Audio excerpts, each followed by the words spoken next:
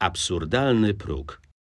Zgodnie z prawem do wiążącego charakteru referendum krajowego potrzeba 50% frekwencji. Większość ogólnopolskich głosowań w trzeciej RP nie osiągnęła tego progu. Od 1989 do 2020 roku Polacy mogli chodzić do urn w głosowaniach ogólnopolskich aż 34 razy. Tylko 12 razy osiągnięto próg 50%. Mimo to w dyskusjach o referendach wciąż wraca argument. Nie można znieść ani obniżyć progu frekwencji, bo decyzję będzie podejmowała zbyt mała liczba obywateli. Trudno się z tym zgodzić, skoro zbyt mała liczba obywateli była wystarczająca, aby zatwierdzić obowiązującą konstytucję. Dziś pozostaje wystarczająca, by zatwierdzić zmiany w konstytucji, a także by podjąć decyzję w wyborach. Co by było, gdyby próg frekwencji obowiązywał też w wyborach? Wówczas trzeba by uznać za niewiążące wszystkie wybory do Parlamentu Europejskiego, bo w żadnych z nich nie poszła do urn połowa obywateli. Prawie wszystkie wybory samorządowe.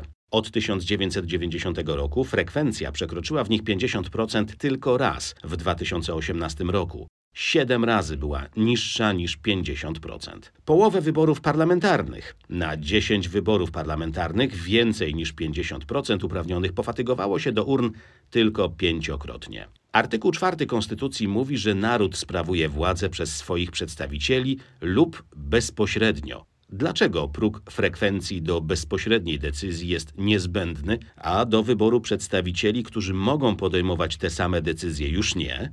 Sami widzicie, że to absurd. Dlatego progi frekwencyjne w referendach ogólnokrajowych i lokalnych należy znieść, a co najmniej radykalnie obniżyć. Prawo nie powinno karać tych, którzy biorą na siebie odpowiedzialność, ani premiować tych, którzy woleli zostać w domu. Chcesz wiedzieć więcej? Śledź lub bezpośrednio.pl i szukaj spotkań w Twojej okolicy.